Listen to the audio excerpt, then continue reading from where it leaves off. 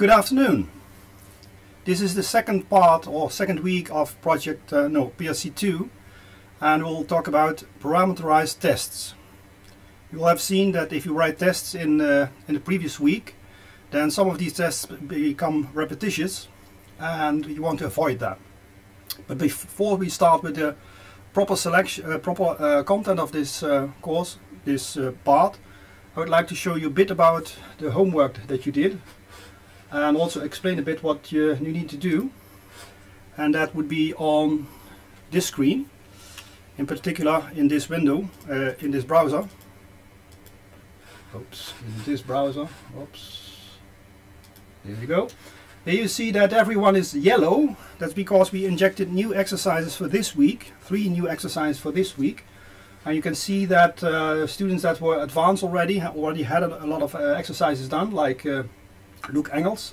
And the guy on, on the end here also had some work done, but there are new exercises in here.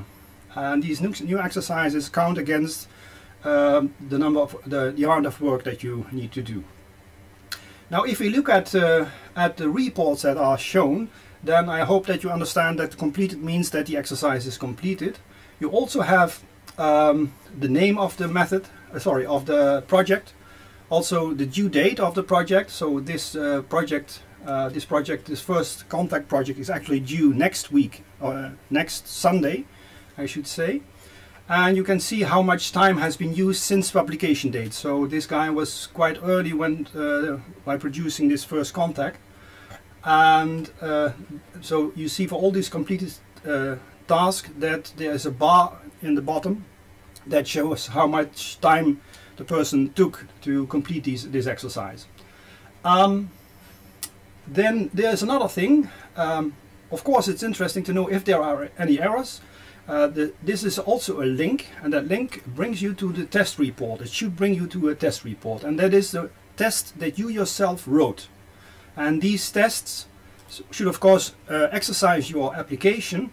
Um, that is, um, invoke all the methods that you defined. And if you do that properly, as is done over here, well, let's maybe let's look at, another student that might be more interesting.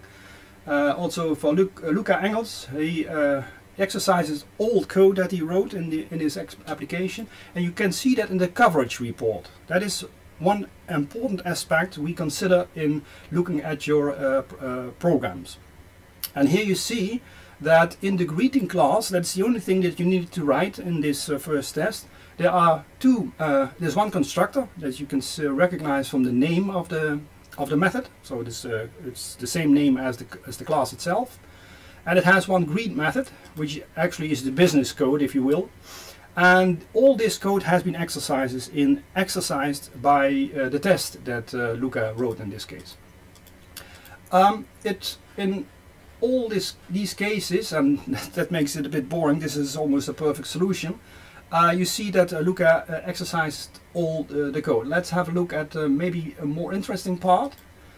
Uh, the phone book, you see that uh, the instructions are all, all have been covered, but Luca missed a few branches. And that can happen, in particular, that can happen when you have exceptions. I do not know for certain, but for instance here in this uh, uh, solution there's a yellow uh, line over here and that yellow line means that only one of the two possibilities that you have with this if statement has been exec executed. So uh, and that typically, uh, typically means, and in this case you can infer that from the next line that is being executed, that the false case is not, uh, is not tested. So if you want to make sure that this line is completely green, then you should also uh, uh, test it with a value that you not expect to be found.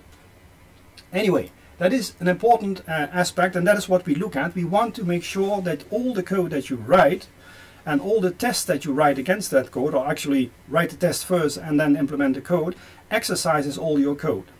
And you should be able to get near to 100%. It's not, not always possible, in particular when you have to deal with checked exceptions um, that will uh, be difficult to, to reach uh, exactly 100%, but uh, in many cases you can come, come quite near to 100%. There's also another number which is important and that is this 1, 2, 3, 4, 5th, 6th, 7th column.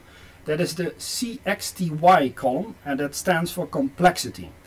And that complexity tells you something about the numbers of ifs or whiles or fors that you used in your methods. And for instance, in this method, search by number, you see that you have a complexity which is higher than the default complexity of a method, which is simply 1. But you see here that there is uh, there are some ifs or fors or whatever that uh, that is required in this method. And you can see that uh, because inside the search by method you see that there are two uh, a for loop, an if loop, and then another if, and that accounts that counts that increases the complexity of the method. In general, you want to keep that number as low as possible. Mm -hmm. The least complex or the less complex a method that you write is, the better your code is. You are able to um, um, to exercise this code. You will be able to find all the paths through that code, but also maintainability and the readability, all these uh, uh, extra features or properties, uh, quality properties of, of code can be improved by lowering your, um, your complexity.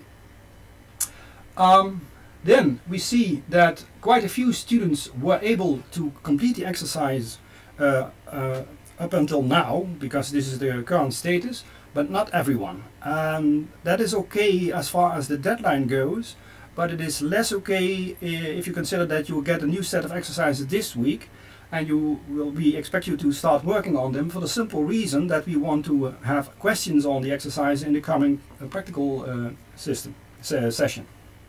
So although the uh, deadline is two weeks ahead, it's always best to start uh, working on the exercises as soon as they are published for the simple reason that you can keep up with the, uh, the material and it will be easy to keep the workload or running into a deadline problem uh, away. Uh, it, it it's always better to uh, to execute these exercises and it would be best if you try to at least try to the exercises and try to work on them before next week because in this session we have a general session for all students we could address problems that there might be in the exercises and those uh, questions or problems that you might have will then be applicable to, to all students and not uh, only to the student that did the exercises. Um, okay, um, then of course we have a lesson script. Let's see if I can find that. Yes, it should be somewhere in uh, here. Let's turn that away. This is my, no, this is the wrong browser. Let's have a look. That is my browser. Make it a bit smaller so that I can have it on the right hand side. Close this one because I don't uh, need that anymore. And go to the lesson script. And the lesson script uh, tells me what I actually should talk about. So it is, it's just a, a, a guide uh, for me. So I told, told you a little bit about uh, what coverage means. Uh, you can read ab about that uh, more uh, in the um, on the website. Um, and in general, finding what code coverage actually means. This week we will talk about parameterized tests. And I've said, as said, parameterized tests um, help to minimize the problem that you copy and paste or what we typically call copy and waste uh, test code because it looks very much the same. You only have to change a few few fields or variables or whatever input values uh, that, uh, that occur.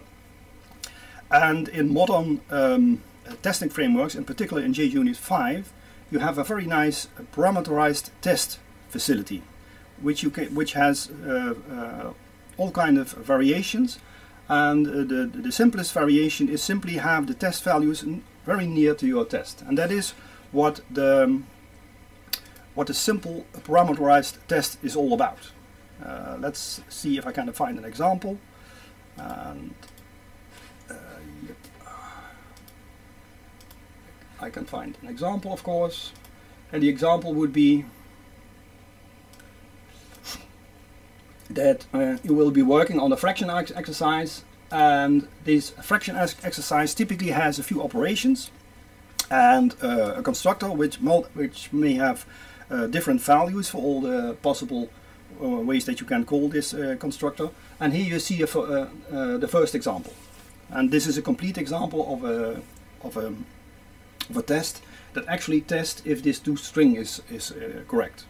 So you see here that we have uh, a simple a so-called CSV record per line and a CSV a comma separated values, comma separated values with an S at the end, uh, says what it's all about, namely that you have values like two-thirds, that's one value, a comma, and then another value, and then a third and a fourth value in this case. So you have a number of values that you want to use in this test. There's one part that is the CSV source, that is this set of lines, because that is what it is, uh, or a list of lines, or an array of lines, that's uh, the way that you could look at it. So there's one, two, three, four, five lines that we have in this, uh, in this test, and we want to make sure that when you create a fraction from the n and d part in this, uh, in this CSV record, uh, then if you look at the uh, to string value and this is the to expected toString value and that is being uh, tested. So you do an assert if that uh, toString value is equal to what you expect. And you can also specify a method uh, sorry a method message. And the message is specified over here. So in this case the message is two-thirds. That is spelled out what the, what the name of the fraction or the way of the, you would pronounce that fraction is a whole number like uh, 2, uh, one third, well it, it says it all, and but also negative values. And in the case that you have a negative fraction, so the, numer the numerator is uh, negative, then we expect that negative sign to be at the numerator. And in the case that you have a fraction which is uh, bigger than 1, then we also want uh, to have a separate integer part uh, plus or minus the uh, negative, uh, oh, sorry, sorry, the remaining fraction. So this is actually 7 fifths, 7 over 5. Uh, but if you uh, write that down in normal fashion, then that would be 1 minus, and with a mi minus sign, 1 minus 2 fifths. That would be the, the, the proper value. You also see in these parameterized tests that now a test method, because this is actually just a test method, uh, takes um, exactly the same parameters as are specified over here. And it also understands that there's some kind of conversion needed. So for the first two parameters, there's a message, that's the first thing, then an expected string, that is the second value, but it also recognizes that these numbers in here are to be interpreted as uh, integer values. So it's uh, quite nice to be able to specify all kind of different types, well, all kind of, not every type is, is allowed, but the, the, the, normal types that you would expect, like uh, strings and numbers and boolean and um, uh, even uh, local dates that are ex ex expected, and uh, quite a few uh, typical standard types that you would have in the in the uh, default JDK. So this is what the way that you would write a simple test, and this is the kind of test that you will find in the fraction exercise of this week. So that is what you what you would would do. If you want to see more details, there's a nice read in the JUnit 5 parameterized test that is well documented. It's good, uh, uh very well readable, so you might might want to try that uh, that too. Um, and then you will find the exercise uh, below, but I'll, I'll skip the exercise because that's what you need to do, what you need to complete. So there's a fraction exercise that actually exists of, out of three parts because in the first part you uh, simply apply a parameterized test with the CSV source and in the other uh, parts you uh, apply the newer uh, things that you need. Um, what happens quite often in your tests is that the value that you want to express is not easily written down as a, as a string because as I said uh, there are many conversions possible but some, some conversions are simply not that easy. For instance, you cannot specify a class object or an exception object as a string. Not easily, that is. And well, what you can do in that case is instead of specifying, trying to specify this, the, this, this object that you expect inside this CSV uh, file, you can simply look it up into a map and that's what maps typically are for. Maps or the dictionaries are the, as they are called in some other languages can be used to look up stuff. And let me make this a bit bigger so that is uh, more readable. You see here we have a map of strings to a person ob to person objects. And these are the test data yeah? So in this case I want to use these test data.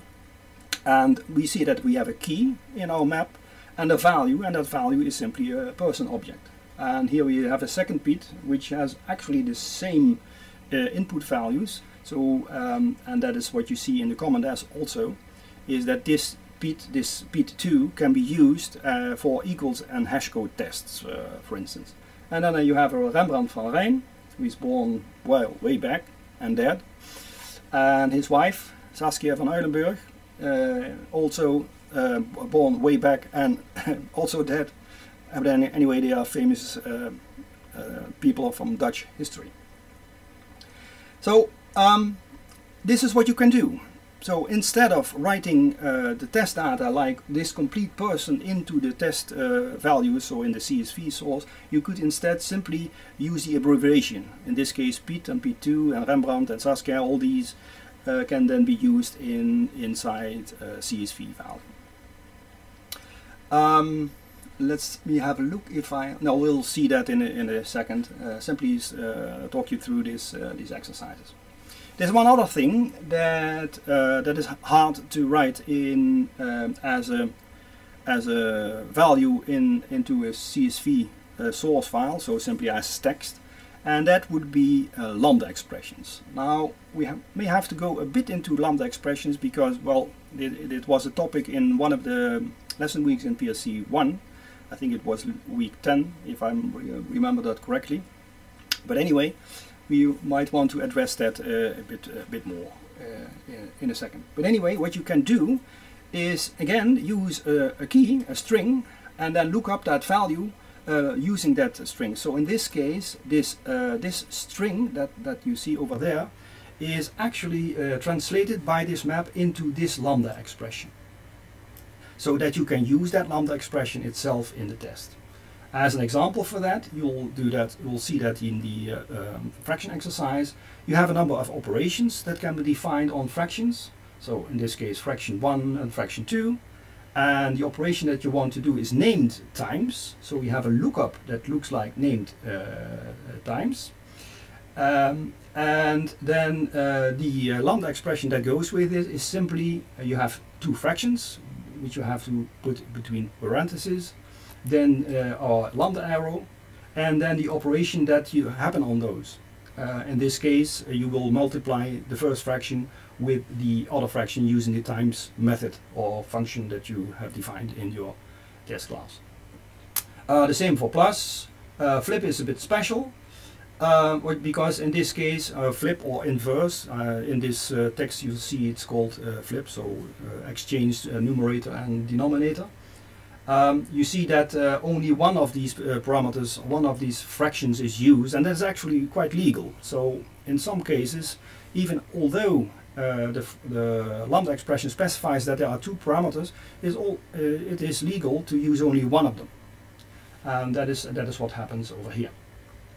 And uh, what's this? Oh yes, and then you see how these, uh, these definitions, so this times uh, key, is used in the actual CSV source file or um, CSV record set. So here you see one line you see there's a message, again it's a simple message. Then you see the times uh, name that is then used to look up this operation. And then you have in total four numbers. Uh, um, well, first, first you have an expected st to string value, because, and then you have four numbers you, you that you use to build your, uh, your fractions. So from these numbers, one comma two, you build the first fraction, which would be a half and from uh, 1 comma 3 you build the second fraction, fraction which is one third and if you multiply them together the outcome will be uh, 1 over 6 so 1 sixth that is uh, the result of that uh, that operation and you see that there are multiple uh, uh, lines here and these are not all possible lines but these are the examples that you can use in your application now how do you apply that um, what I left out here is the assertion, because that is what you need to, uh, to write. How do I assert that the operation works as expected? But that should be easy enough because there are quite a few hints inside names of the of the parameters to this um, uh, method. Uh, message, and then the operation name, op name, the expected string, that is I think an obvious name, and then A, B, C, and D. Those are the, the parts that, that you need to uh, build your fraction from. And you can see that over here. Fraction is uh, fraction 1 is made from A and B, fraction 2 is made from C and D. Then you do you get your operation and then you apply that operation and then uh, that will then produce a result and from that result you can expect if it has the proper presentation if you use a toString on them. So this is what you need to do. Make sure that the toString value that you get from the result fraction is indeed uh, the one that matches uh, the expected value over there. As said, we should do a little bit on uh, lambda expressions because you may, may uh, need a refresher on that. So let's uh, dive into NetBeans and show you a bit on uh, lambda expressions. So let's make this go away. Let's uh, why did I open this? Well, maybe maybe I'll, I'll show it anyway because otherwise I forget to do that. Here you too also have um, um, an exercise that no no it's not an exercise but it's a demo that we presented in week 12 of PRC2 and it's about making a map.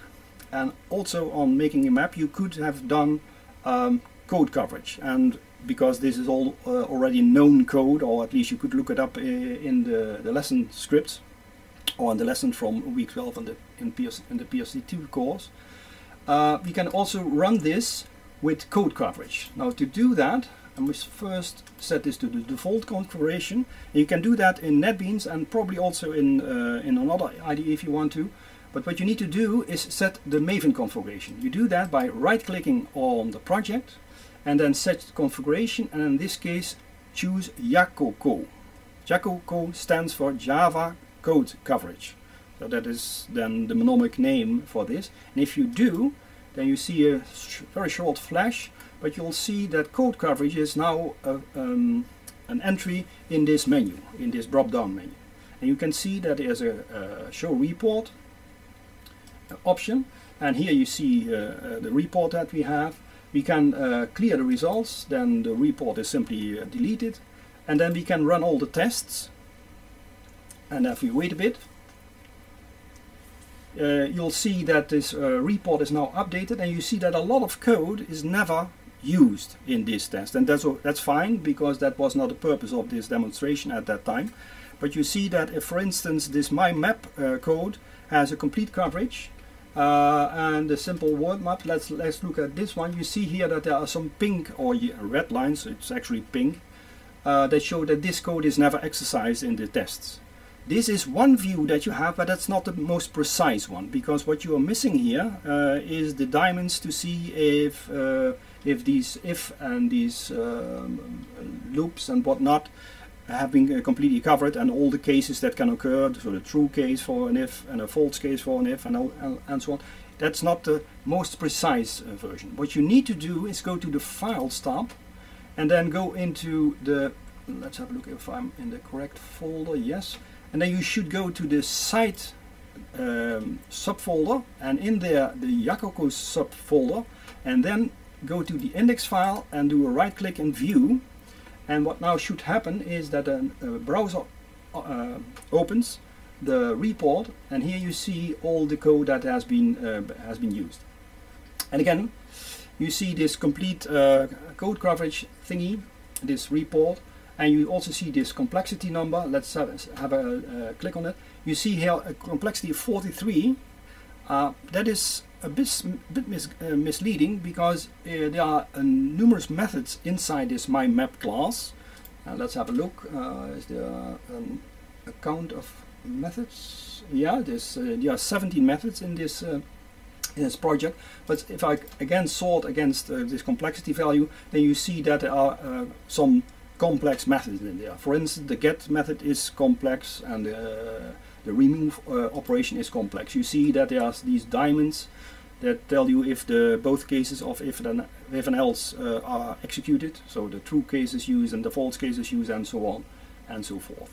So make sure that you look at the coverage report because that is a, a determining factor if we want to uh, apply a teacher test to your code. So you have to meet some uh, coverage number before we apply the teacher test on your code. reason is very simple. If you don't test your own code, why would we bother to do that for you?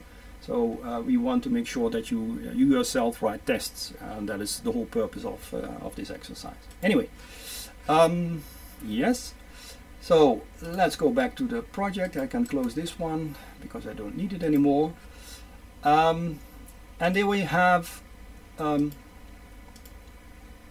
yeah, we let's first uh, talk a little bit about uh, about um, lambda expressions. Lambda expressions are actually methods without a name, but that is not allowed in Java um, because every type has to have a name to be able to find it. And the solution that Java uses for that is define so-called functional interfaces, which is no more than an interface and an interface defines a method and from that method what is defined is the parameter list, the result and potentially a throws clause. So if this method throws an exception then that is also a part of the definition that goes into your lambda um, so-called shape. We'll go into more details in week 5 but those are the things that you want to want to know. Uh, I have uh, created a, a, very small uh, de demonstration here. You have a, a map. And that map uh, is a map of operations the same as you saw in um, in uh, the fraction. And what I specified is not only that the key is a string but also that the other part so the value in the key value pair is of type int binary operator. And this int binary operator is one of those functional interfaces. And what int binary operation does you can almost derive it from the name, but you have to, have to get a bit of experience, of course. In this case, it takes ints, and by says it takes two of them, and because it's a, an operator in this case, it also produces a result. And what it actually says, because it says operator, it says that the input types, so you might have an A and a B, so two values, also produces an output uh, result of the same type. So int binary operator means that you have a function that takes two integer values and produces one integer result. And this is exactly what you have over here. And because I specified that this type as key type in my map, the compiler knows what to do there. It understands that the expression that we have here, this simple, very simple expression, a comma b would yield a plus b, that is the plus operation, that is also, you can also derive that from the key value over here. That is uh, how uh, Java understands it. If you try to, to do that differently, for instance, let's uh, uh, try it like this. I write a var, which is allowed since um, 9, 10 or 11, I don't know, doesn't matter. I could uh, I could make a, no, that's already given. I could choose a var name and then try to assign that to um, um, um, int binary operator. So I say a comma b and then that yields a plus b. Let's uh, write it like this. We'll see that the compiler will not like that because what you're actually doing, you're giving the compiler too little information. And it's also very explicit in this case because if you point at uh, the red bulb, you see that uh, the compiler says cannot infer for uh, type for local variable z. It says I can't, I can't make any sense of this because you give me too little information. Now, what you can do in this case, if you specify, uh, if you try to specify, now well, let's uh, let's make it into um, more concrete information. Give the compiler a bit more. Try to do it like this int comma a and int comma b. Now, now at least you're saying what the input types is, and then still the uh, the IDE will say, uh, oops, no. The IDE will still say no longer with uh, with a red, but in this case with an, uh, a type inference from. It still said I can't infer the type a lambda expression needs an explicit target type, meaning that it also needs to know what the result value of the result type of this operation is. And it can't make that out of this a plus b uh, for some reason. That is uh, how the compiler um, developers define it. So what I need to do is I must specify, like in the next line, um, that what kind of uh, type I have. So not only need I do I need to specify the input values type-wise, but also the result type. And in this case it's all ints, so I could do it with an int binary operator that is already defined. That is the same thing as, as you see in the line below. Once you give the compiler sufficient information, you can leave other information out, and that sometimes is attractive to make your expression more readable. And in this case, in this case, I can simply leave out the ints because the compiler already knows that from uh, the definition int binary operator, from the functional interface definition of that thing. And then it knows, oh, A and B, these are both integers because those, those are bracketed as the input uh, pair. And the expression that comes out, so there's the thing um, uh, at the right hand side of the lambda expression that specifies uh, what the output uh, type is. And that is an integer expression so it knows that is this is matching to um, to uh, the definition. And then uh, once again I have also have a y. You see that in that case so in the in the in this line let's isolate it a bit and make it a bit bigger. Uh, now let's no other way. Let's make it a bit bigger in this case, I can use var y and then do ops.get uh, uh, plus with this key because from this map definition it knows that var is indeed of, uh, of the correct type. It is an int binary operator. It can infer that from uh, the type. So sometimes uh, you can use var for functional interface definitions but in most cases it's better to do it like this uh, specify the full name um, because then uh, the compiler has all the information that, uh, that it needs. Anyway that is uh, the little thing I wanted to talk about on uh, lambda expression. Are there any questions about that? Because that is might be important. And maybe there are remarks from the other teachers yeah, maybe a remark. It, it would be nice if you can show this functional interface in the Java doc. Yes, that is a, yeah, that, that's a good idea. Let's uh, let's have a look. So if I right click on this and show Java doc, let's see what happens. I hope, uh, yeah, and now it uh, it runs uh, starts a browser, and you'll see that it uh, it finds the Java doc uh, at the Google sorry and the Oracle side and here you see this uh, interface binary operation. That is the definition that is being used and uh, uh, by the compiler because I wrote integer binary operation and it uses that to find what the actual definition is.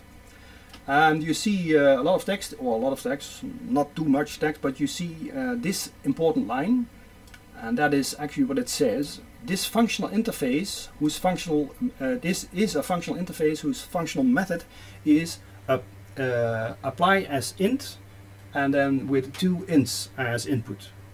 And the mm, standard uh, Java definition of that interface is there's an int function, so a function or method that returns an int that is named apply as int and it takes two parameters left and right so those, those are the two parameters that uh, are taken into account in this uh, computation. And that is the whole definition. So the name of the method inside the functional interface is apply as int. Uh, result is int. The two input values are also of type int. And remember that when you use it as a lambda expression, then you actually are no longer using this apply as int unless you want to uh, call the uh, lambda expression itself, call the method on the lambda expression itself. But we don't want to, will not do that. Um, I'm not quite sure if we'll show that today, but we'll uh, rehearse that or we'll see that again in, in week number five. Yes? So let's um, continue with um, the remainder of this, uh, this, this uh, explanation. So here uh, you see this um, these uh, lambda expressions that are being used, are being defined. So uh, these lambda expressions define the operations that you have. Times is fraction time fraction, plus is fraction plus fraction. These uh, keys, these names are used in the CSV source file, so you can look them up. And inside the method you do that, you look uh, that method up like this. The ops uh, is the map, and the get method is get something from a map with the key. That is the op name, defined as parameter. And then you see uh, you see over here that the result is uh, op apply. For fraction, uh, the, for the fraction, uh, the the definition of this um, functional interface is different from the exercises, the, the, the demonstrations I gave you earlier. Um, that is, in this case, it's a BiFunction. And a BiFunction simply says you have two types that go in. And in this case, two fractions that go in. And the resulting type is also a fraction. So it's a BiFunction that takes a fraction as input and another fraction as input, a and b, that's typically the name and uh, a third fraction is the result of that operation. So this is the definition in this case. And if you have a function in, uh, in the functional interfaces, let's have a look if I can see that uh, here too. Remember that you can look all these things up BiFunction and then you'll see it finds it at the first uh, value. You see that the interface is defined as interface BiFunction with three type parameters, three generic type parameters, T, a U and an R. Quite often an R as the result type. So uh, that is there's a bit of nomics here. So you can remember that R typically means it's a result type and that also comes last and in, uh, in such a definition. And you see that the functional uh, method in here, this is a functional interface whose functional method is apply and it takes two reference variables, two objects in this case. Um, but because you specify the exact type of the objects, you know in the, uh, in the example, the fraction example, that these objects are of type of the specific type uh, fraction. And that is the functional interface. You see also a default method. Uh, we'll not deal with that. We don't use that in the fraction exercise, but it is a, a feature that you can have is in Java 8 and that can be used uh, quite uh, effectively in, in some cases. Um, yes, what else? This should go now. Uh, same as others. So, so um, this is my uh, fraction definition, and here you see the the uh, calling of that uh, lambda expression. So here I define three variants, three uh, times of the same thing, one with a full name, one with the abbreviated, uh, one with the full definition, one with the abbreviated definition. I left out uh, the types. And this is the lookup that uh, is being applied. And then you can see that for the y, we apply the function. So we, we get, we put two values in, a 2 and a 3. And for the operation that we define, that's the plus, it should result in 5. And if I run that program, uh, yes, if I run that program like so, let's see if that works. Now you see this. What happens here? I've seen I've seen students ask this as a question. Um, it says uh, could not find or load main class and says null and, and so and so on. Uh, that is because well this project hasn't defined the main class yet. What I can do is click on the on the um, class itself, which has a tiny green arrow on it. I can run. Oops, that's not what I wanted. That is debugging the thing. That's not very interesting because, well, it's almost trivial. But I can run it like this. So selecting the file, uh, making it runnable, that is uh, doable. But what you also can do is change the properties of this project and then go into the run uh, tab. So from this list category select run and then browse to your file and then select the main class and now you are able to run the program you should be able to run the program. You see that now the program runs. So if there's no main definition or no, no main definition given, then you can also uh, uh, always repair that so that you can run your, your function also or your, your whole program uh, because you define where the entry point of your program is. Okay. Um, yes. let's go back to my lesson script. Um, that's what I did about uh, lookup. Um, and the next thing is either split or compare. Let's uh, let's start with let's simply look at uh, the website because that will give me a hint to what the best order would be. You'll see that uh, once you've defined uh, the operations in the operation map, and you can find that in the fraction project, then you uh, can use them and write your test for that. And then uh, once you've written your tests, then you can impl implement all these operations. I will not go into the exact details of the fraction. You might have some uh, questions about that, that's fine, but not now. Um, uh, let's have a look. Um, this is not quite in the order that I expected it, but that, that that's, that's okay. Um, sometimes um, the number of test values that you have are becoming quite big and you have many test values and also these test values uh, the table becomes uh, very big and large and then it's not very attractive to keep and maintain all this stuff inside your code.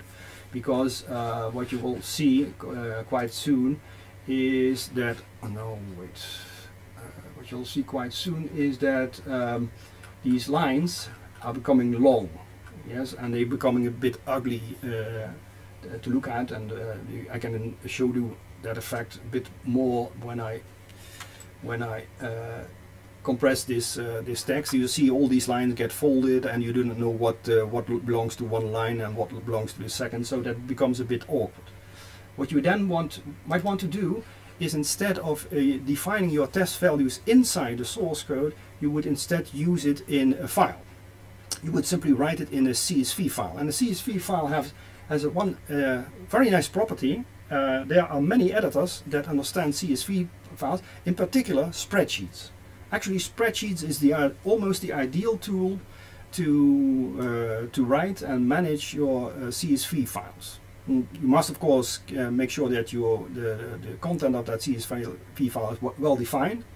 Typically, you start with a header line that defines um, uh, what the, the, the, columns mean and then the, all the, uh, the remaining lines simply contain uh, the text that you want to have. So comma separated values in, in such a, such a, a file.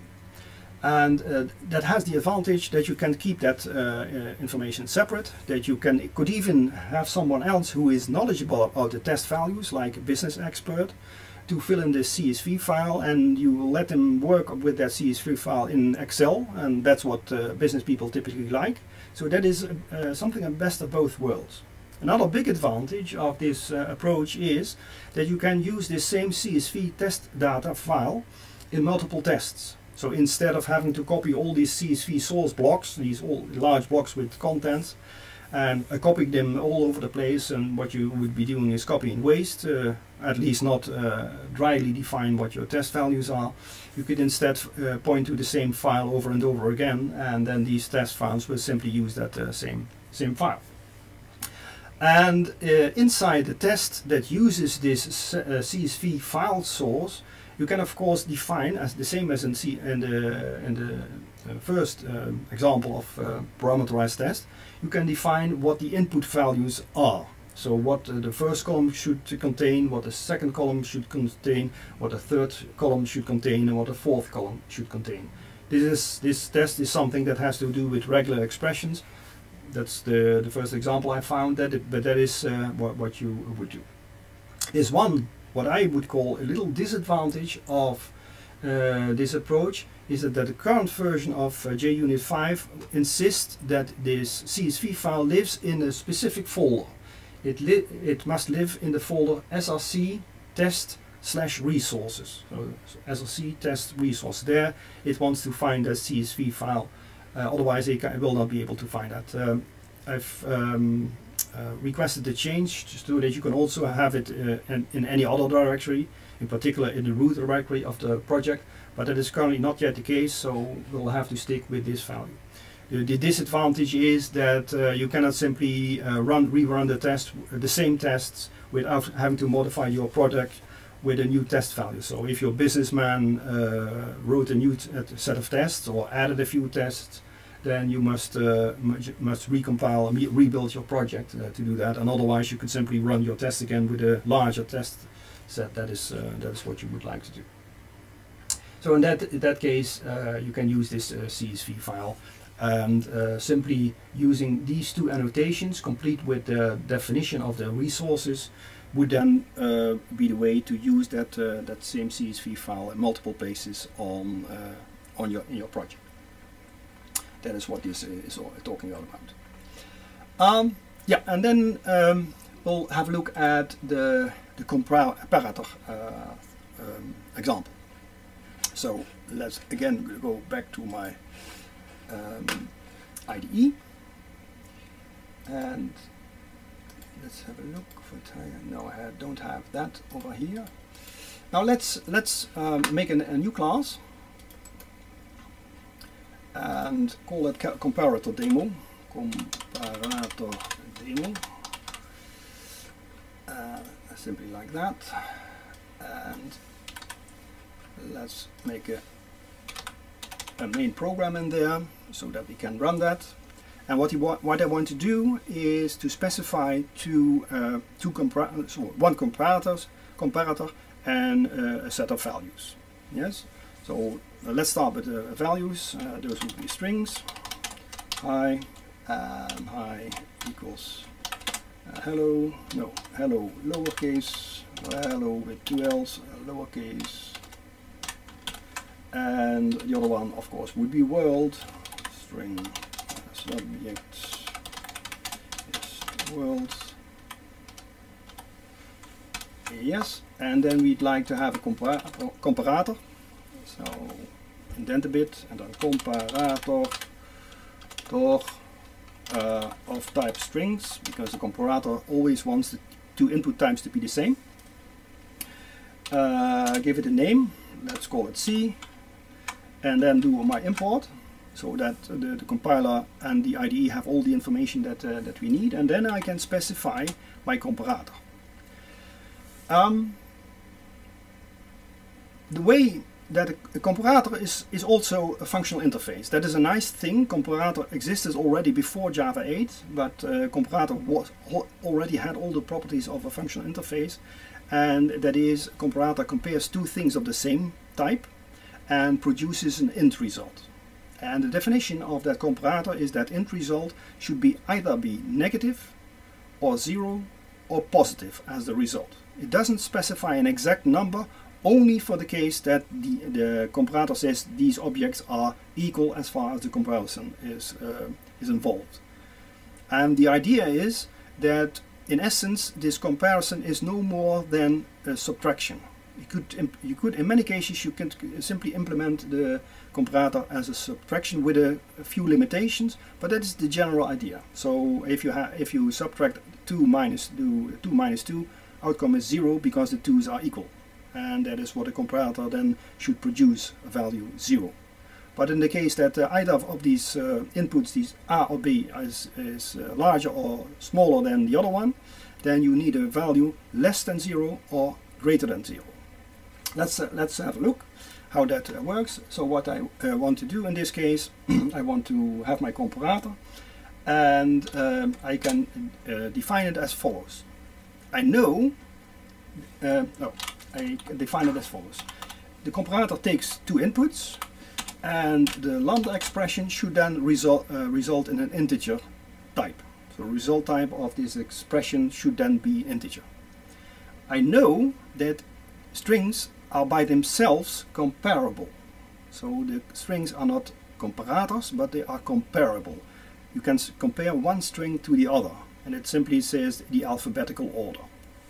So what I could do is say simply say A, please compare to, and you can see that over here, to the other string. And then it will say B, it should say B in this case. And that then that is the definition of my uh, comparator in this case. Yes, um, and uh, what I can now do, what I can now can do, and now I remember where I left my thing, is I can test if this comparator works properly. So um, this is what we want to do. We want to use this comparator and see if it works properly. I've already defined that same thing, and I've, I, stupidly I'm, i forgot that, but that can happen. Uh, I did the same thing over here. You see here, hi, hello, and a world. I have two different test values. I defined my compara comparator, and I defined my comparator up till now like so. Compare to. Uh, so I say A, compare yourself to B, and give me the result. The result must be 0 if A and B are equal, or uh, minus uh, a, negative number if uh, A is less than B, or a positive number if A is bigger than B. That's the definition of comparable. So in this case, I could test it like uh, as follows. Um, assume that I expect that hi is, uh, let's see, less than world, which is uh, what you would expect because hello and world uh, compare in that way. If I do that, if I run my test, and I have still this open, that's, that's actually quite comfortable because now I can simply run this test. You can see that this test method uh, simply passes uh, because uh, hi is indeed less than world and that is what we expected it to be because, well, wait, wait, this, this is not correct. What I should do is test the file like so. That's that's the one I wanted to see. Uh, what what you see here is that this test now fails. Why is that? Well, in the character definition that uh, Java uses, which is UTF-8 typically, which is uh, itself derived from ASCII, the uppercase characters come before the lowercase characters. So this W, this capital W, uh, uh, in a comparison becomes before this uh, this H, and that's a bit strange because you expect that uh, when you do an alphabetical sorting, that the H becomes before the W. If you want to do that, you should use what I had uh, in here before. You should use compare uh, compare to ignore case, and in that case if you do that like this, then my test will pass. But the interesting thing is actually in the test. The test value says expecting 17 to be less than 0, because that's what I specified. I expected the outcome of the comparison, that's this part, c dot compare h1 uh, uh, hi and t, that is the outcome of this comparison, that is then in the case, in this case 17, uh, to be less than 0. Yes? and that is a number, is a positive number. And I expected it to be less than zero, it isn't, so the test fails. If I run the test now, then um, it looks like uh, the test fails. Uh, the test, sorry, the test pass. This is okay because this is exactly what uh, what we expect. If I uh, ignore case when uh, comparing two strings, then uh, the H becomes before the W, and that is the normal alphabet alphabetical order that we expect. The problem with uh, compare to is that the outcome is specified as being less than 0 or bigger than uh, 0 or 0 itself and it is difficult to express that in a tabular test because well how do you write greater than less than? The only thing that you could do is have multiple tests like equal to 0 uh, less than or greater and then do if then else steps inside your test. And that is something that you should try to avoid. Your tests should be simple, and um, meaning that they shouldn't have any algorithm. There shouldn't be a real loop or a while loop or something like that in inside the test. The test should be written easy to write. That is the general idea. The easier it is to write a test, the more attractive it is to, be, to write those tests before you write your code. So what we want to do in this case, we do not want to compare the actual outcome of the comparison, in this case it's, uh, it's uh, seven, it was 17, but instead what we want to do is compare the sign. We want to see if the sign is 0, that is the outcome that both are equal, is negative or is positive. And there's a, a trick to do that. The trick is called signum. Signum, that means the sign of a number. And that signum is defined in, um, I think in all the primitive wrapper types like integer, long and double and, and so on. And in this case in particular we want to use the integer signum and compare that to what we want to have. So what, what we do, we use um, we use um, instead of c c.compare uh, to uh, hi and using hi and t as parameters, we do integer dot signum. Oop, signum, and then as parameter the outcome of the comparator. And then what we can now can do is instead of specifying less than uh, uh, zero, we simply can say equal equals equals equal no equal to yeah and in this case if it's it needs to be negative I can simply uh, I can simply write uh, is equal to and negative sign means I specify minus one that is the only information that is the sign information and if I run my test now you can see that uh, that this test is still green and if I write uh, a positive value here, you see that the test is uh, will be red. And if I uh, change it back to the original, that is using the wrong comparison uh, as far as alphabet goes. So if I take this out again, compare to just that part, if I run my test again, then you'll see that the test is again red, and that is good. Test wise the best thing that that the test can be has the red color. That is that is the idea. Now once we've recognized this as a nice feature so using signum it also allows us to specify test values and test outcome inside a csv file or inside the csv source record. So let's also do that. So what we do is we make this into a parameterized test like so. And then the, the import's already done. And then oops oops.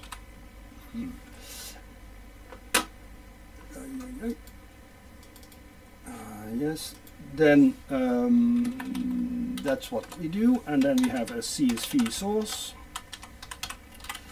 with uh, an and then of course do the import. And then give us some uh, input values uh, like uh, hello comma world and well proper, properly spelled. Uh, the outcome would be minus one if I would uh, have hello and world no uh, if I would have hello and hello then I would want it to be uh, zero I want them to compare equal uh, because I would want to uh, ignore sign. And uh, if I another two strings would be Pete and Jan, what, whatever Pete and Jan, and these Jan, and in this case uh, Piet becomes comes after Jan, so Pete would be bigger, and that would then should then produce uh, a value of one. In my parameterized test, I must also specify the input types of the test method. So in this case, it would need two strings. So string, string A and a string, uh, if only I could type. And no, another boolean and an int. Let's uh, simply call it signum. Or better name, x expected signum. That's the best name. Then I must uh, re-specify my test. I can do that very easily because I really don't need those two uh, uh, local variables anymore. I can uh, use my comparator. Uh, let's have a look what's wrong here. Oh yes, that's because A and B already are, are defined. So I must choose different names. Well, that's one thing I could do. Input, put um, B input, oops, input, yes, and then I can use these test values inside my test, in inside my assert, so that would be uh, input A input, and this would be B input, yep, and then it should be equal to the expected uh, sign value, and that is then expected uh, signum and if I now what happens now if I now run my test and let's have a look. What we all what we see. Which we ha now have three tests actually for each of the parameter sets or each of these CSV record uh, lines. One test is being run, and you'll you see that the the test is failing for these uh, two values. Now this is um, what you can do from this these numbers. You can count it down in the in these lines. Um, yeah. Um, so you see that a test, the first test uh, fails, the second test uh, fails, and the third uh, test passes. And we see that uh, because the comparison is now um, also uh, uh, the same, it's the, the, the case of all the both input values are the same.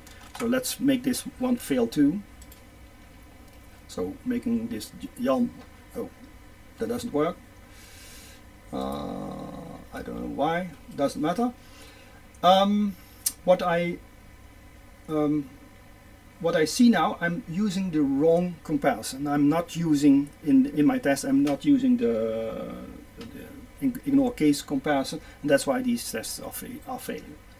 So if I again make this into compare to ignore case, and then run my tests again, and in a normal case that would mean that you would change your business code, then um, then uh, you see that these tests uh, pass. Yeah, so here you see uh, very compactly how these CSV source files, these, these CSV source um, records work in, in, in, practice. So once you have a, a, test, you can turn these values into um, parameters to your test method. Uh, using when you're having to deal with a comparator, uh, use this signum trick so that you can put the expected sign uh, inside uh, the test uh, value and that, that would be. Any of the other teachers might want to have an additional remark or, or question? To me it's clear, but... Okay. Then uh, that, let's simply uh, continue with my uh, lesson script. But the next thing that we'd like to do is, so we did this comparator signum part, the, the next thing that we want to do is uh, using an arguments provider. Um, so there are a value, there's still a value in uh, CSV source uh, records, simply in your source code. Keep them near to your uh, test method because that's the best way that you can uh, can see what the test inputs are and what the test uh, sh should do. So keeping it near together makes it easy to read. Um, if you have a, if you want to use the same test values uh, over and over again in, in, a file, it might in your project or in your program, uh, it might be interesting to put them in a separate file. But sometimes um, that is not uh, the simplest way because uh, in there are cases in which you want to be able to um, to specify not just simply strings, but for some other reason uh, try to compute the values that you want to use uh, in your tests, like a real object. That's, uh, that would be the case. So let's have a look what, uh, what that actually means. And that is, uh, in, the, in this example, um, we made up a silly example about uh, how, how much cabbages stink. They appear to stink when, at least when you cook them and, and after cooking them your kitchen is filled with a nice odor uh, depending on the ki kind of cabbage that you cook. Kale is, uh, is quite okay. Uh, Brussels sprout started stinking. Um, uh, ox, ox head uh, cabbage, spitz, spitzkool and spitskool in Dutch that uh, seems also to sting quite a, quite a bit. So we've defined um, we've defined a, a few tests for that. So let's first look at the project definition. And oops, the project definition is here. Can close this one, I think. Yes, close that one. Close that one too. I don't need that anymore. And that would be uh, about this this Cabbages project. This Cabbages project itself uh, has one uh, business class. Let's have a look. It's not that big. Uh, you see it's uh, actually a value carrier and what we defined is the amount of odor or stink uh, the cabbage spread and certainly when they're rotting or have been cooked. Anyway, you can have no odor, um, or you could have something that is uh, barely uh, smellable, or something that has a weak odor or this is stink you can very well smell it. It's a strong stink very strong and intolerable as the maximum in this this scale just for fun but that's uh, the definition. Then the cabbages themselves have a name of course. They have a weight and that would be the, the typical or the average weight of such a such a cabbage. Uh, a volume uh, weight and volume are not exactly the same thing because you'll see that kale has a high volume but a low weight. Hello? Uh, has a high volume and a low weight and of course the odor value that we just uh, defined. Now and but what we what we did is we defined these cabbages to be uh, comparable. So you can compare one cabbage with another one based on this uh, smelliness how, mu uh, how much that uh, smells and what we have let's have a look if that's true comparable no that's not quite true because here we see that the, the comparison, the, the fold comparison that this these cabbages do is they compare this, themselves by weight. So uh, a heavy cab a a cabbage will have a higher value than uh, a low weighted cabbage or to be specific here as um, what's it called a green cabbage, Savoyicol in Dutch that has a higher weight than a typical uh, Brussels sprout which are well uh, tiny, well, something like this. That is the thing. So this is the comparison uh, that we have. And of course we have a test project in here, that is test files. And this test file uh, shows us what you can do when you're using, now the way around, what you can use uh, to define uh, test data. We apply a few tricks here. The first trick is First we uh, define a set of cabbages. So we have a sprout, cauliflower, kale, uh, boerenkool is that, white, uh, uh, normal cabbage, I do not know exactly what kind that is, Savoyicol, that is uh, Savoy, that's grünkohl in German, I think. Not quite sure. Anyway, doesn't matter. And uh, what we do, also do, apply the other trick, is that uh, having a lookup. That is, we, uh, we have a name, for uh, um, a comparator and that name would be by stink, by weight, by weight alternate, another uh, weight but that would be the natural comparison and by volume and these are all possible comparators. comparators. So here you have the comparator that says A and B need to be compared by, uh, by the compare to method. Yeah? And that would then be that these A and B's are comparable by smell that is what, what the definition uh, looks like. The other one would be uh, A and B are compared to by using getting the weight of those two and then compare, compare those. And use what you will see that this compare method is actually the compare method that is defined in double. And what I should do is take this line out because that makes it a bit clearer. And now that is what happens over here. So you do a double compare by comparing the weights of A and B. Let's write it like this. No, that doesn't work. That's uh, so you you compare the, the, the two weights of the cabbages. You can also specify that in a different way. You will see that in more detail in week five. But when you have a method uh, that can get a value out of a, an object, in this case the weight value out of the object, then you can use that um, method name to specify how you obtain the values that you want to compare. This is called a method reference. I will not go into those details because that is actually subject in week uh, in week five. And then um, the uh, third method is uh, using cabbage.compare2 and because uh, we've declared cabbages to be comparable by weight this is the natural comparison. So if you have comparable objects like strings or integers or doubles or cabbages in this case, the natural comparison means that these the objects should be comparable and that the compare to method of that comparable object is uh, is then used. That is an, what is called a natural uh, comp uh, comparison. Um, and this last one is the uh, comparing by volume and there is another one I just saw a few minutes ago that would be by weight uh, not two. That would be you can ask the comparator compa comparator. Yes. Of uh, comparator interface to give me the natural order.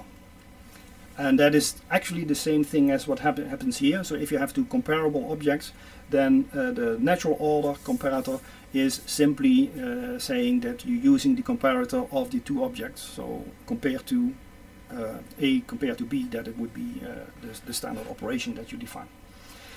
Then um, I have a set of test data these test data these uh, specify a message uh, the name of the lambda expression the result and then the cabbages that are being used inside this uh, in this inside this test value. Um, then at the third thing is the test method. So you would have a message, that is the message that comes out of this uh, thing, a comparator name, that is also in he specified here, the expected value, the expected signum value, uh, and the two objects that you want to compare, the two cabbages that you want to uh, use. Now you'll see here that this looks a bit like a CSV record, but it isn't. It is uh, because a CSV record is itself just a string, uh, and inside the string you have commas. But in this case, I have a string, and then a comma, and then a string, and then a comma, and then a, an integer one, and then uh, the name of uh, of one of the uh, cabbages. So this actually it's the object reference to this one of these cabbages, and that is another object reference to uh, one of these cabbages and these uh, are then compared depending on the kind of comparator that you want to use. But this happens this can happen. You can specify your test data in this kind of way because there's another facility in uh, JUnit that is called a so-called arguments provider. And what an arguments provider is, is nothing more than uh, packing um, an array of objects into a list of parameters for your test. So what you actually are seeing here is that this is uh, are the test data and this test data is the same test data that is then used in this test data class because you need to have a, a class here and it simply uses this test data to produce a stream of test instances and these test instances are arrays and these are then handed over to your test method by means of this annotation and that array is then unpacked into the exact parameter definition that you're using inside your test. Yeah, so this is the test data. This is the class that you need to wrap them into an array. It produces uh, one array, so one of these uh, rows, one such thing per test and the methods method then accepts these uh, this row of tests by specifying the the parameter types inside the test. So you have a message in this case, you have a comparator name in this case, which is used in the lookup. You have an expected uh, signum value. Uh, you have a the first test object and the second test object, the cabbages in this in this case. So this is a more advanced way, but very nice a, a way to um, to use your uh, to write your test and to, to collect your tests in groups and having actually just one test method that uses all these test data and tests uh, creates tests for all these uh, these test data. Um, Maybe yes. it's good to mention that it's a two-dimensional array, right? In line 43. Uh, yes. Oh, yes. That's a good. Uh, that's a good remark. Yes. This this object array is an array of array, and indeed, the first dimension of the array is one row, and the second dimension is the, all the rows together. So you have indeed a two-dimensional array. That is uh, what you need in this case. Yes. And one such row is then used uh, to convert into one test object that is then passed as a parameter list to the test method itself. Yes, that's what you wanted to add, right? Yes, yeah, yeah, yeah, yeah. And in the meantime, there's also a question uh, from Lucas. Yes, uh, Lucas. Could also be done by a CSV source. Oh yes, this this could uh, this could be done by a CSV source. What I would do in this this case, I would also look up those cabbages. So I would uh, would then invent a name of mapping between cabbages and uh, and strings, and then I could use it in a CSV file. So we can turn this into a CSV uh, source, the, the, the, the, more traditional, the simpler version. And um, as far as I'm concerned, uh, when you can do something simple, then don't do it in a difficult way. Uh, in many instances, CSV source will work, but then there are uh, applications for this, for this uh, particular uh, version. but you can, you can um, with a little bit of effort you can convert this one into a, a standard effort but we can give you examples where that is not really the case. It's it's quite complex to do that because we want to want to specify objects instead of uh, simple strings and have a conversion. Uh, in particular in this case for instance um, if you would like to specify your whole cabbage as one string you need to have a constructor that converts that string into a cabbage or you have to pass that string uh, into parts that uh, the constituent parts of that cabbage and then use that as a constructor. So in this case the uh, example is you have objects that you want to use uh, and these objects can then produ be produced in this test data. So we have made it a bit simple to make it uh, more or less manageable and explainable but that is uh, what you what you would do. Um, yes, so that is what we wanted to say about um, parameter, uh, argument providers in, in this case. Let's have a look. Yes. Yes. Okay. Um, yes. Um, there's another uh, thing. There, we have an exercise this week that uses a, feature of enums, and we also want to say a bit more about uh, these enum um, objects, enum types in, uh, in Java. Uh, they are very, powerful. I like them a lot because you, can use them for multi, multiple purposes.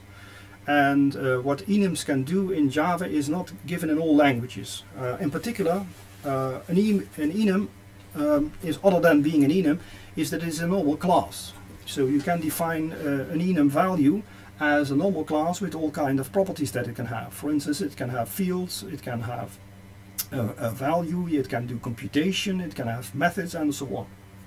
And that is what we want to, uh, to show you in the last exercise, that is the enum calculator. Uh, at, uh, that is the third uh, exercise, so let's have a look. That would be the uh, enum calculator, yes, at the bottom here you see that we are using um, um, enums to do computations. And to look into that project would be maybe it would be best to simply open it in uh, in NetBeans. And then you can see what we are talking about. And let's have a look. Uh, yes. If I already have that in my project let's have a look 21 oops notable no that is not a project. Um, oops wrong. Inside here we have multiple projects. Project week 2 this is the enum calculator. Class. Yeah that's it. So what, what, what we want you to do is to define an enum operator. Uh, yes, an enum, uh, a set of operations uh, declared as enums. And uh, the operations that you can have is add and multiply and uh, divide and uh, times and minus is not fraction, but it's a calculator that adds integer values. I think it's an integers, yes. So what you can do is define an enum value plus in this case and this would then be the only value that this operator has. And this uh, this uh, enum value would uh, then be able to, to do the actual computation. Actually what it would do it would use this compute method to do the computation. And this compute method will take two integer values uh, the integer value a and the integer value b and do the computation course, this is an exercise, so, so, we have to fill in the blanks, all the things that we, we've removed. But that is the idea. So you can uh, use enum values to uh, do computations. Um, yeah.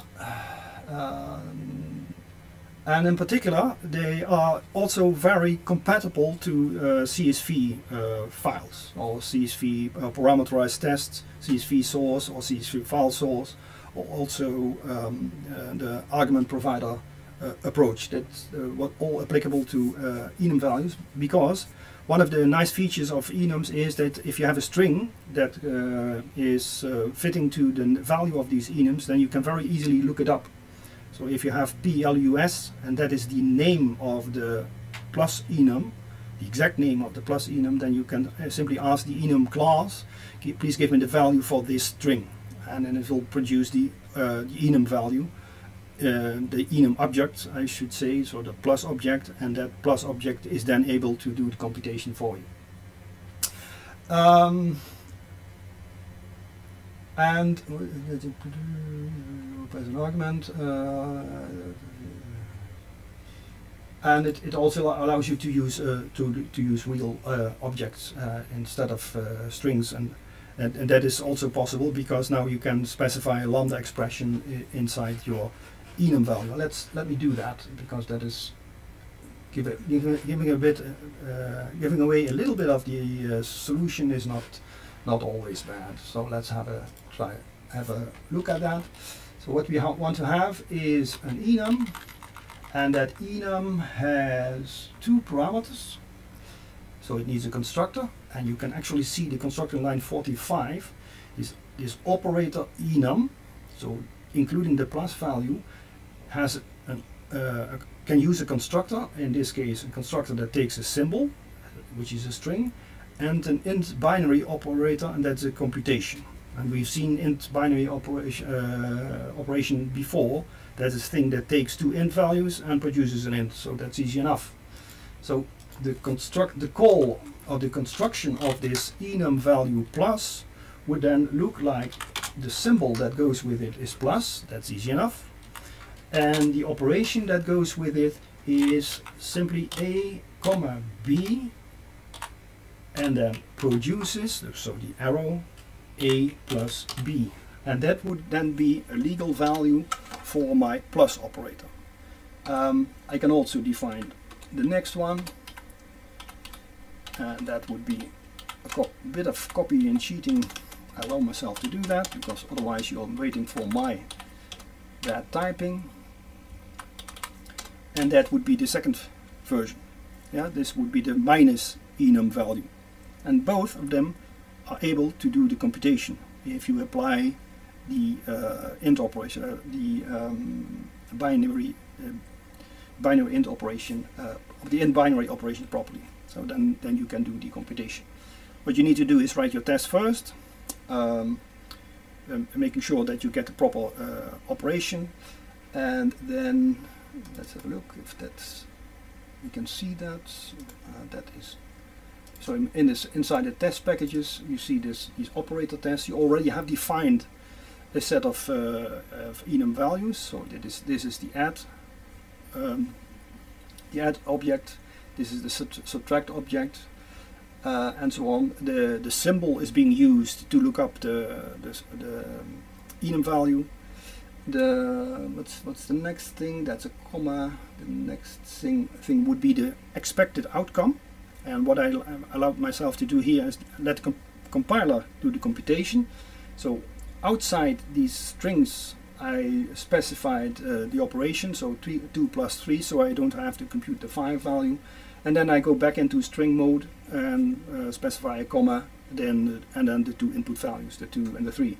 Here's the minus, uh, 2 comma 3, the, this is the multiply, this is the divide, and this is the the power function. So in this case 2 to the power 3 would be 8 2 times 2 times 2 is 8. Yes, um, now I would say that's yes, that is what I would like to say about enum values. There's more explanation in the text. There's even more explanation in uh, our nice book, this one, or the uh, second volume on enums, what you can do with them please study that um, when you are doing this exercise. Um, and then um, there are sometimes we, we want to, uh, to share tips with you.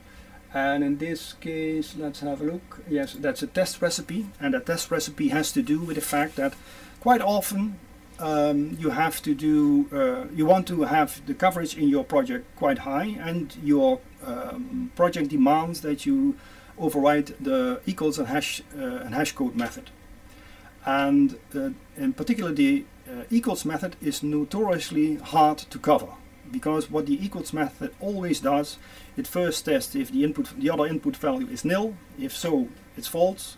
Then it tests if the other uh, type is is of the same type. So if you're comparing uh, testing cabbages for equals for instance it wants to make sure that the other thing is also a cabbage. If, if not it's false and then it knows that these uh, both types are the same and then it will look for all the fields that you have defined in your equals uh, method.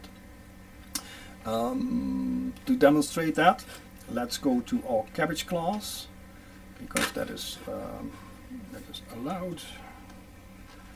Yes let's go back to our cabbage class. It's still op open. Yes that's still open let's assume that we want our cabbages to be not just comparable but we also want to have the equals and hashcode method.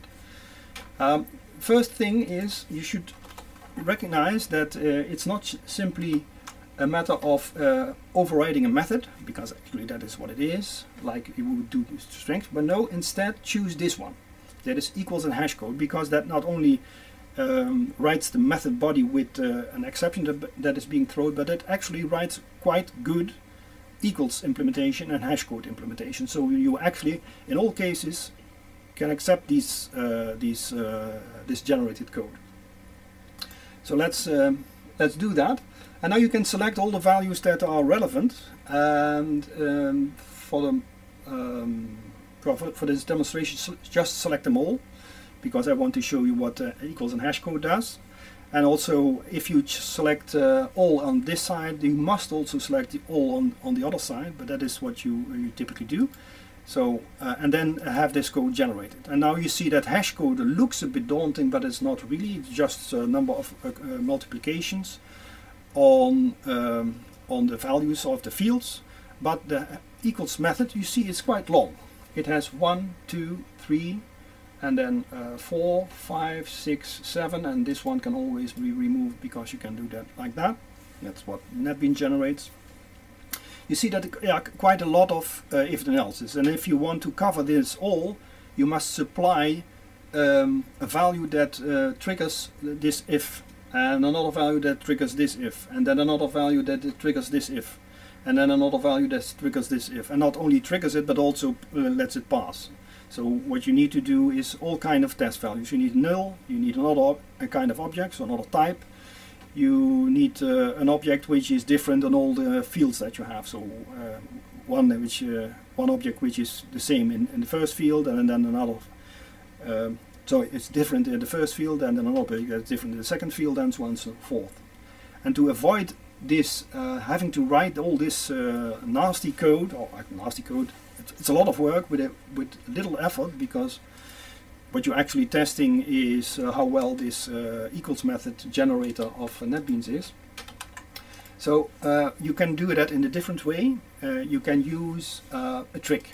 And the trick would be, and we've explained it in, in this case on a student object, uh, you would, uh, we, you would uh, generate a few test values in which, which differ in just one field and then the rest of the tests that is providing a nil value and something of a different type is provided with the helper class. So this is, assume that this is your generated equals just like the one before um, and this these would then be the test set. So you have uh, two objects which should uh, compare equal. So these are two student objects, same name, same birth date, same student number. They should be completely equal. Then you have an object which is different in name. This is a Jen instead of a Jan. And then you would have uh, a uh, student object which is different in the birth date. In this case, the year is different and then you would have a student which is different in its ID. So you need to generate two uh, to be equal and produce the equal uh, the same hash code and you would have to create an object uh, for each field that you would have and then select uh, select the one of the fields to be different from the reference object. And if you do that then this recipe and that is long but you can simply copy it uh, you can simply copy this uh, this uh, this piece of code into a utility class that allows you to do uh, the testing. Let's let's demonstrate that. So what I do is I'll copy this out let's see if that works. Yes something like that. Copy it out. Go to my NetBeans. Oops. NetBeans there you go. Of course in the test classes. And then uh, make it into a separate class. Call it uh, test utils. Oh utils. Yeah utils yes and then put these two methods inside okay and there would be an include required. That would be a soft assertion. Yes we've seen that in week one so that looks good. And if I now would like to include my uh, equals test inside um, my uh, cabbage test then I could add it easily uh, now but first let me let us look at what, what the coverage looks before I do this. Um, again turn on set your configuration to Jacoco, yeah, Java code coverage. Then run the tests, tests, no, uh, sorry, show the report, that's already visible, clear, and then all tests. What's happening here?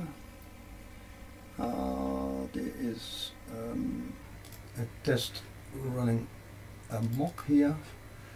That is in line 66 that is because one of these values is not correct. I think it is the this one. Mm, not quite sure. I, I think it's this one because it's no longer comparing like that.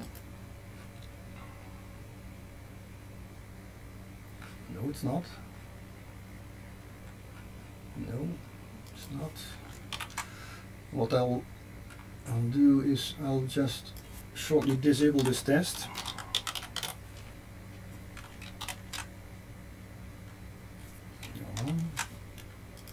Oh, at the, at the end please, yes.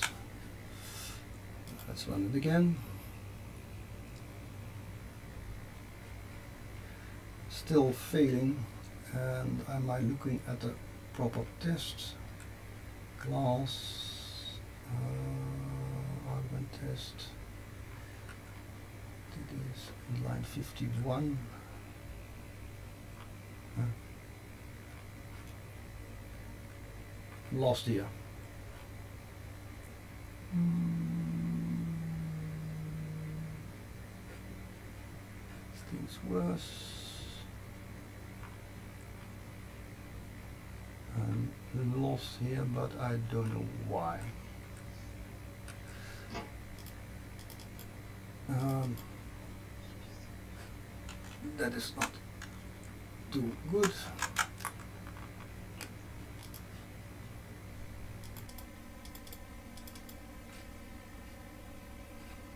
At the moment I do not know why this, this test is failing but uh, what I, I wanted to show you is that if if you would then um, add an equals test at the end of um, our test class.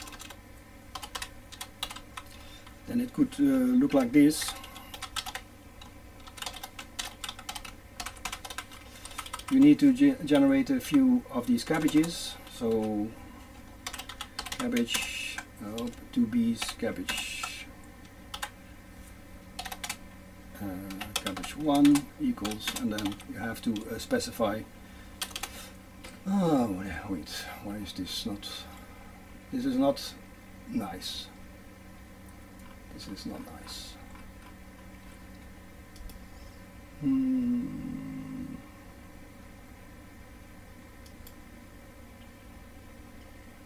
I'll, I think I'll um, will will um,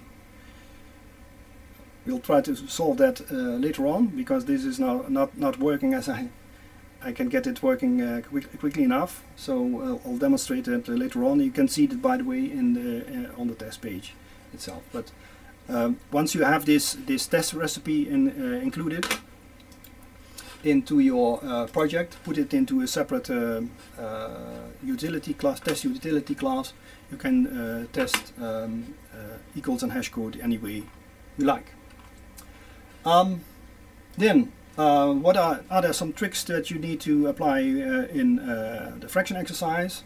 Well, not, not really, other than uh, studying the piece of code, uh, the piece of uh, theory before it, because in each of these fraction exercises we add an, an, additional feature of one of these parameterized tests. So um, a simple CSV source, then looking up lambda expressions to do an operation, and um, uh, using this uh, hash code and equals trick, uh, also making com fractions comparable so that you can see that two thirds is bigger than one half and, and is smaller than three quarters. So that is what a comparison should talk deal with. Then you have another one that is uh, the exercise of uh, flawless passwords. Um, the flawless passwords is about uh, you have a requirement that a password has to have a certain length, it has to have certain characters, at least, one, at least one uppercase character, one lowercase character, at least one digit, and one special character, but of course more, more of those uh, because it has to make up a, a, total length. And what we defined here is not so much uh, if a password is correct, but instead if a, a password has no flaws, that is not a missing requirement. One of the missing requirements would be the size, the size is too small, then that uh, requirement is missed. The other one would be there's no uppercase letter, then that requirement is missed, uh, lowercase letter, uh, and so on and so forth. You can easily imagine that, that uh, how that uh, how that works. Uh, the special characters, um, well, special characters are not well defined, but so what we chose is to to use all the characters that are not letters and not digits inside the ASCII page between the space excluding the space itself. And the last character uh, in the ASCII tables, uh, that is would be uh, character number 127. Uh, those are the special characters, and this, that is this uh, this whole list. So you have an exclamation mark, a double quote, then a hash, a dollar, uh, percent, an ampersand, a, a, single quote, parenthesis open, parenthesis closed, a star plus, and so on. Those are the special characters. So you need to have, have to at least have one of those in your uh, password. Now what we did is uh, specify these flaws again as enums. So you can going to have uh, an enum for each of these flaws. And these enums themselves have an, an, encoding. The encoding is something like this.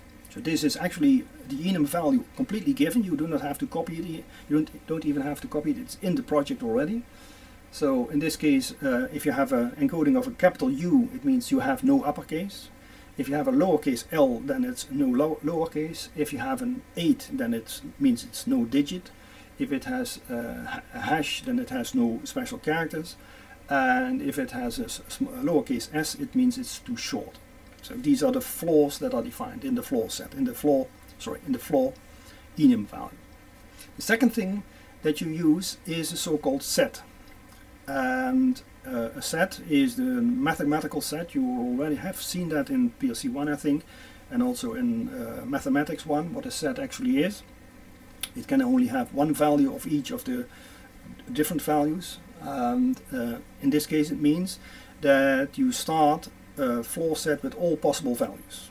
Uh, you simply say uh, I don't know anything about this password so I assume that it has all possible flaws and once uh, you find a character that um, that meets a requirement, for instance, you find that the uh, password has a uppercase character, you know that that flaw is no longer available, uh, present.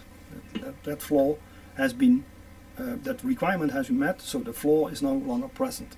So what you do is you remove that flaw from your enum set, and that is what's happening over here. Um, um, you must be able to specify a test set. Let's have a look if I can see that too. You must be able to specify a test set, so you can make a CSV source uh, uh, table or record, and then you specify what flaws that your flaw set uh, uh, checker should should find in the password and then that would look like something like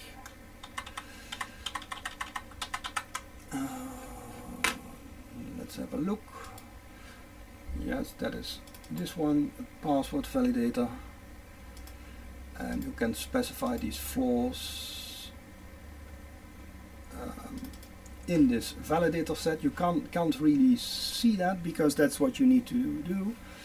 Uh, but this the flaw itself has been uh, tested. And you can see for instance here that an encoding is no more than uh, just a short string which says what flaws that you expect in a certain case.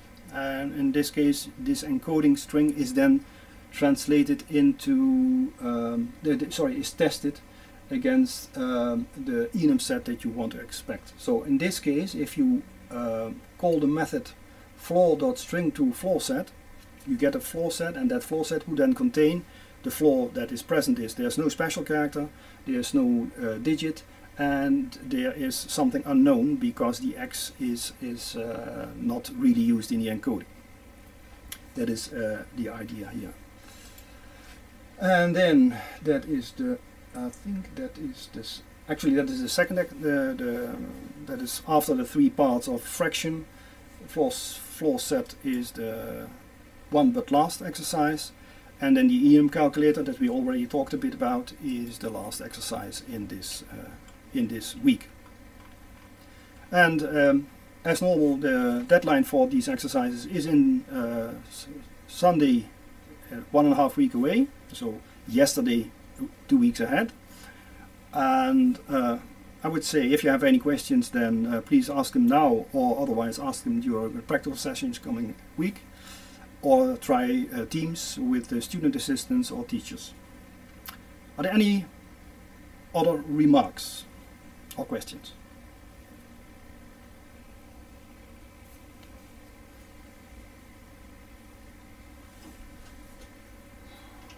I think you also wanted to uh, discuss splitting or not?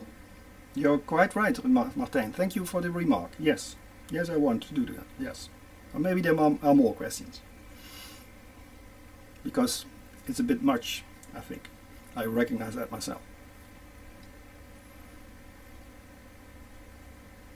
I just have a remark regarding uh, hash code and equals. Mm -hmm. Uh, yes. Um, because uh, so if we don't completely understand the why, don't worry too much about it because we will discuss it in ALDA yes. in the second year in detail uh, mm -hmm. why you would do that. Mm -hmm. I think for the moment it's important to realize that as soon as you implement or override the uh, equals method, that you also have to generate the hash code, and that and then you have the example how to test it and how to cover it. I think that's perfectly fine but uh, I think that's enough for now. Mm-hmm. And later on, we will discuss the why and how it exactly works. Yeah, actually, that, that was also a topic in the part 12 of the of PSC one. Um, this, this hash code. So that there you have the explanation already. But indeed, the important uh, explanation will come in uh, in next semester in ALDA. Yeah, that's true. Just remember the, the, rule of thumb, whenever you uh, override equals, also override hash code and use the same fields. Yeah. Then uh, uh, the, the, the, remark that Martijn made, I wanted to talk about split and I didn't, so uh, I should uh, correct that. Um, what happens, uh, there are situations in which you want to have multiple var variables in your test set and the, the number of values that you want to have depends on the on the other inputs or on the test set itself. Sometimes you want to have six and sometimes you want four and sometimes you want three and you want to be able to specify that in one test. Now the, um, the unlucky circumstance is that uh, parameterized test in JUnit 5 in the current version, so 570 I think, uh, do not allow var args. That is a varying, varying number of arguments on the command line. So to, uh, to be able to use that feature anyway, because we are stubborn, what you can do is split up the arguments by yourselves. And that is not that difficult. Let's yes, that is what's specified over here. You see over here that we have a, some kind of test, and that test takes two strings, and then it, uh, it takes uh, it would like to have another set of strings. Actually it wanted to have one two three four uh, additional strings in this case so C D E and F. But since you can't write uh, a string dot dot dot var style of notation for rest you must do something yourself. So what you do is you actually uh, specify that you want to split that remaining part. So in this case this rest part is something that you want to split into multiple uh, separate parts. For that, this example we've chosen to use, uh, first of all you have to choose something different than the comma because the comma itself is used by CSV source and CSV uh, source file so you can't use the comma but instead you can use a different character. And we chose to use the vertical bar because well it looks good.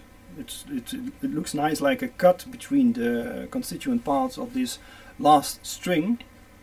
So that is uh, nice and it is not, not very uh, obtrusive. That is not a very big character like a hash or an add that you could use them too but uh, we, we, we like uh, this vertical bar. That's, that's, that's fine. So what you can do then is use this rest part, so that is in this case equivalent to CDEF separated with slash bit vertical uh, bars, you can split that with the operation that is defined in the string class. So you can uh, split a string using a regular expression. And in this case, this regular expression is this vertical bar and you have to write it like this, this because this vertical bar also has a special meaning in regular expressions but, but what it actually says, everywhere where I encounter a vertical bar, I have a new part. So in this case, the CDEF would then be uh, chopped into one, two, three, four uh, separate strings. And for this simple example, that works. But you could also have uh, longer texts, like uh, uh, Piet Jan Klaas, uh, separated with vertical bars, because that would be maybe the expected result or would be one of the inputs that you would have for instance for a sorting algorithm that is uh, whatever you would like to do. In the special case that the test inputs as is also the case over here uh, is just one character so just one A, one B, one C, one D, one E, one F or a lower and an upper and a lower and an upper case character then the splitting can be even simpler because if you split uh, a string with an empty string so at the place where you now see this vertical bars uh, notation, if you split it with an empty string, it simply uh, chops it out into all the separate characters. So, and you can see that over here, if you do abc.split with an empty string, that is the empty string, then that produces uh, an array of three strings, and those strings will be A, B, and C. So this is a way that you can uh, uh, write in a very compact notation uh, a set of characters um, do one operation on them. It will turn them into an array of characters and then you can use these uh, characters inside your test. Um, sometimes or quite often might be uh, you do not want to have uh, strings but you want integer values. Of course that you can also be accommodated. If your strings would be 1 2 particle bar 3 4 vertical bar is 5, 6 and you want to have the three integer values in there, you simply first split these strings up using the vertical bar and then convert them into int values using the integer parts pass int method and then collect them into an array. Uh, we've written this in a style that is where you should be able to read it because you have seen it in PLC1 as well in week 10. It's about streams and lambda expressions but we'll go into more detail uh, uh, in, in week 5. That is also what week 4 and 5, so that is uh, what, what we'll do here in this case. Here you see that what we do, no, this is the, the int variant. And you could also have something uh, that uses uh, these uh, these strings, this this splitted string or this string array, as keys into a map. So that is also applicable. So you can first of split them up and then use a function or a map, uh, uh, a standard uh, string to something map to look up your function. Then you have your your array of, of stuff. You can put this in again. You can also put these two methods inside your test utilities class, uh, because they can be handy if you want to uh, split up uh, a parameter list which is separated with uh, vertical bars or without anything if it's just single characters. Yes, and that is then the omission that I made, Martijn, thank you. Um, because I wanted to talk about uh, splitting stuff as well. Yeah, well that's it then for today.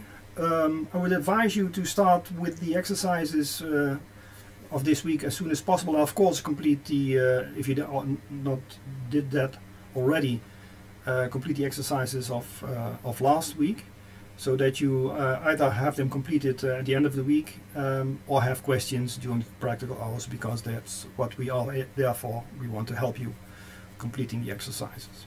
And remember, uh, you have, must have completed the exercise to be allowed into the performance assessment. And as a benefit, uh, every meeting of um, of a deadline, hand in that, and for these uh, exercises, will give you uh, a small reward that counts against your uh, grade at the end of the semester. Any more remarks or questions?